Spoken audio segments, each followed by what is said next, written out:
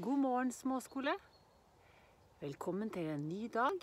Velkommen til samling, og velkommen tilbake i hytta mi. I dag så har jeg også tatt med meg en matpakke som jeg skal spise her når jeg er ferdig med samlinga. Har du lyst til å se hva jeg har med meg?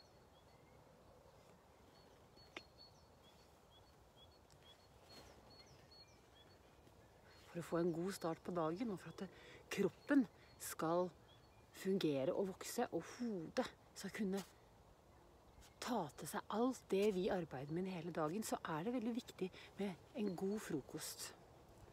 Oi, jeg har med meg en gulrot. Grønnsak. Og så I dag har jeg ikke brunost. I hvert fall ikke på den første brødskiva. Her har jeg gulost og litt salat og agurk. I dag har jeg med meg to brødskiver. For jeg blir så sulten av å jobbe så mye som jeg gjør om dagen. Ja, under så har jeg brunost i dag òg. Jeg er veldig glad i brunost, så det, det pleier jeg å ha med. Se her er brunosten. Den blir god å starte dagen med etterpå. En gulrot og en god matpakke. Jeg prøver å spise variert, da. Litt av alt.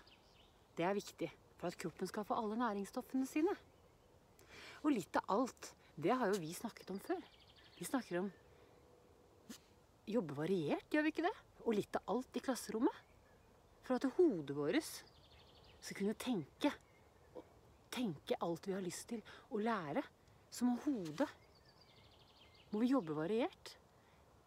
Og når jeg tenker etter, så har jeg kanskje ikke jobba så variert denne uka her. Fordi, som noen av dere vet, så, så har jeg jo hatt et så stort og eh, dypt arbeid med eh, verdenskartet og kontinentene. Og jeg glemte meg helt bort og dro til Afrika en hel dag med alle tingene. Så den dagen så ble det bare geografi. Men så har jeg gjort litt addisjon, matte, med frimerkespillet. Og i går så starta jeg på eh, boka om et dyr. Og dyr, det, det er vel biologi. Ja, det er zoologi. Hmm. Så da har jeg gjort geografi. Jeg har gjort skriving, for jeg har skrevet veldig mye. Så har jeg gjort matte. Og så har jeg gjort mm, zoologi. Hmm. Så i dag tror jeg jeg må gjøre litt biologi. Nei, jeg må gjøre litt botanikk. Botanikk er jo biologi, det òg. Og derfor ja, Det passer bra. For i matpakka mi så hadde jeg også med et eple.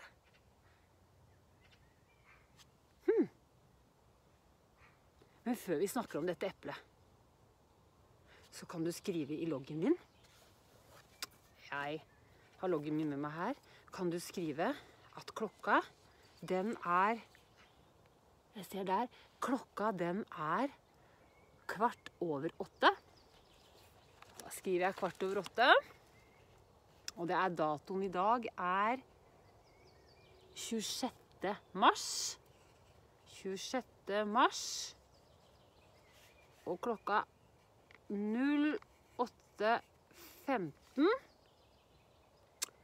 Og da skriver jeg frøets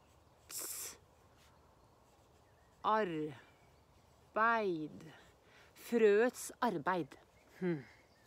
Det skal vi starte dagen med i samling. Dette eplet. Har du noen ganger betrakta skogen og alle trærne som svaier i vinden?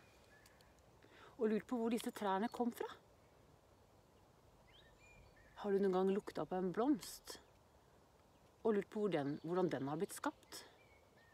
Har du noen gang skapt, smakt på et eple og lurt på hvorfor epler akkurat vokser på epletrær? Dette eplet vokste en gang på et epletre i en frukthage. Og alle frukttrærne sto på rad og rekke. På alle så hang det epler. Nå skal jeg dele dette eplet i to. Jeg har en kniv med meg. Jeg har en fjøl her. Så skal vi se hva som er inni eplet. Mm. Oi. Her. Se.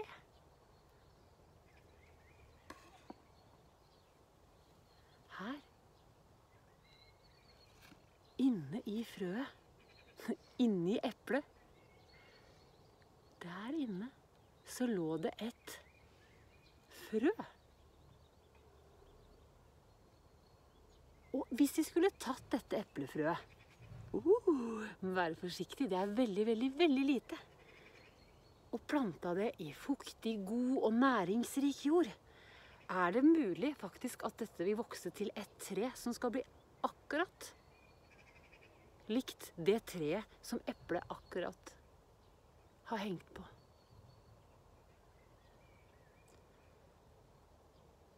Er det ikke rart at dette lille frøet har mulighet til å vokse til et stort, stort tre med bark og greiner og blad og blomster og frukt. Akkurat som det epletreet dette frøet kom fra. Og inni en av de fruktene som kommer til å vokse på det treet, så vil vi finne et nytt frø akkurat likt som dette. Og hvordan kan det ha seg et så lite frø har så mye makt?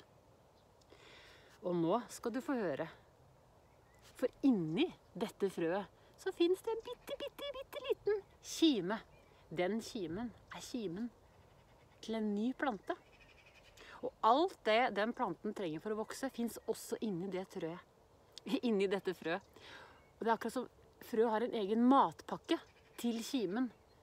Så den skal klare seg, planta skal klare seg selv helt til planta klarer å lage sin egen mat. Epletrær og så mange andre planter lager frø som de sender bort, vekk fra foreldretreet sitt på en måte. For å vokse et annet sted. Som om treet var mammaen. Som tar farvel med barnet sitt når barnet er klar til å gå ut i verden alene. Det er frøet som bringer nye planter til verden. Det er frøet som reiser hit og dit, slik at slekter kan spre seg. Over en eng, over en fylke, over et land, ja, over et helt kontinent. Tenk hvordan ville verden ville vært uten frøets arbeid.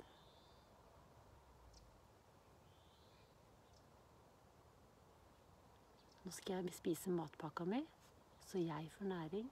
Og så skal jeg ta med meg dette lille frøet tilbake opp i huset. Så skal jeg finne noe god, næringsrik jord.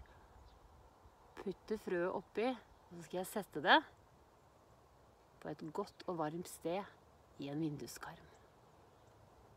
Håper du får en topp dag, og så ses vi seinere. Ha det!